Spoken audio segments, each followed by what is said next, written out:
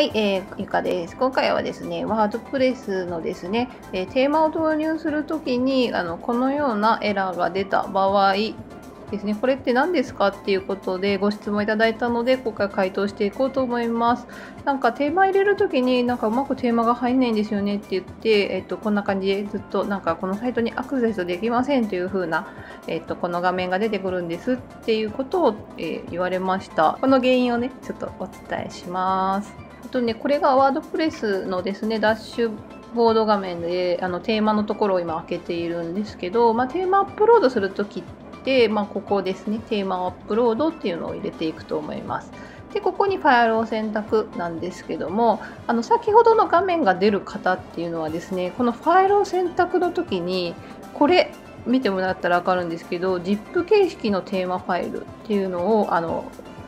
テーマアップロードするときには入れるんですね。で、これではないファイルを入れている場合にあの画面が出ます。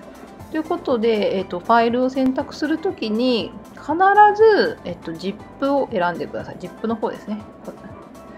必ずこの ZIP の方を選んであげてください。こっち回答しちゃったらですねあの ZIP じゃないこのファイルになると思うんですけどこのファイルを入れてしまうと先ほどの画面が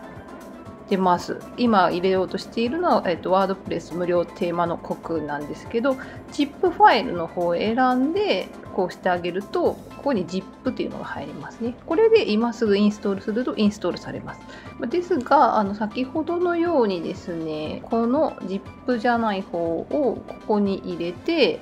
今すぐインストールを押すと、この画面になってしまいます。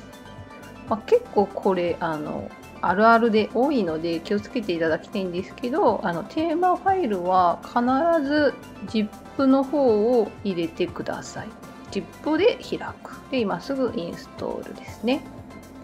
そうするとこのように ZIP ファイルインストールが終わりましたってなりますのであとはここマスターの方入れたとしたらあとは、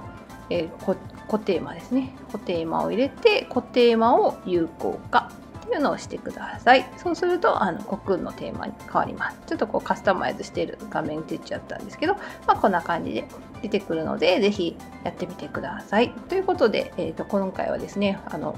ワードプレステーマがちょっとうまく入らないですっていう風なご質問をいただいたので回答していきました。今回の話がいいな、参考になったなと思いましたら、いいねボタンお願いいたします。今後もワードプレスの作り方、書き方、配信してますので、チャンネル登録もお願いいたします。ということで以上です。最後までご視聴いただきありがとうございました。